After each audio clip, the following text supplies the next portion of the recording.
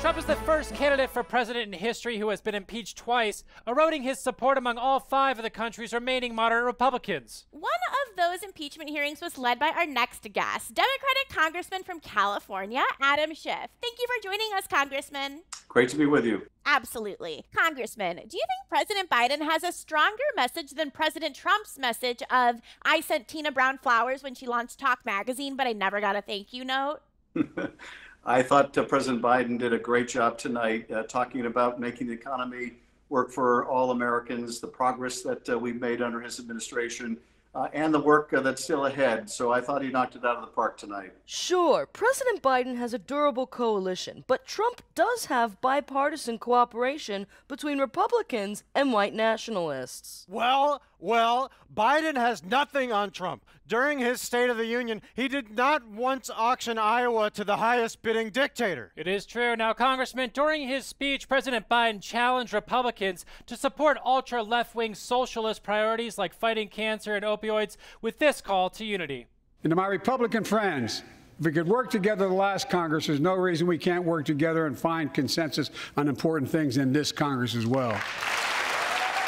Now, Congressman, can you work with the Republicans who shouted over the president when they weren't busy texting Oath Keepers photos of your license plate?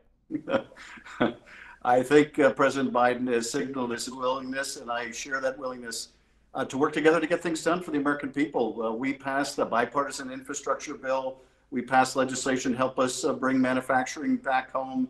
Uh, we even passed some uh, gun safety legislation, not nearly enough, but we made some progress there's a lot more that we can do in this session of Congress to move the country forward. Uh, I'm willing to do whatever is necessary to make that happen. I think the president uh, signaled that his uh, that he is open to that kind of bipartisan cooperation as well. Look, Biden is partisan. Sure, he delivered Strom Thurmond's eulogy, but he refused to get in the coffin with him. Moving on, Congressman, you are running to be the next United States Senator from California, even though the seat is currently held by Democratic Senator Dianne Feinstein, who has yet to announce her plans, even though she is, according to our fact checkers, 1 million years old. Now, since you are appearing here in your capacity as a member of Congress, you cannot comment on your Senate campaign or Dianne Feinstein's decision on whether or not to retire. Is that correct?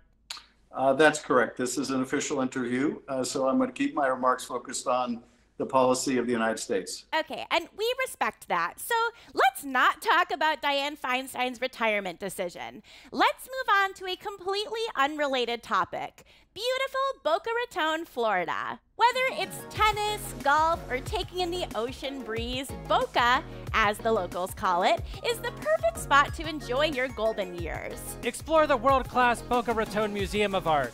Or open air concerts at the Mizner Park Amphitheater with a July 26th performance from the Goo Goo Dolls. Plus, it has some of the best dining in South Florida.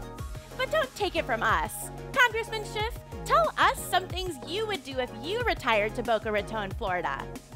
Well, I would uh, I would enjoy the great weather, and I would uh, enjoy uh, all the wonderful people, and the fact that every week in Boca is basically like a Seinfeld episode. How so? I'm too young for that reference, but it sounds like a wonderful place for a random so? woman to retire without some know-it-all intern leaking their every mental hiccup to Politico.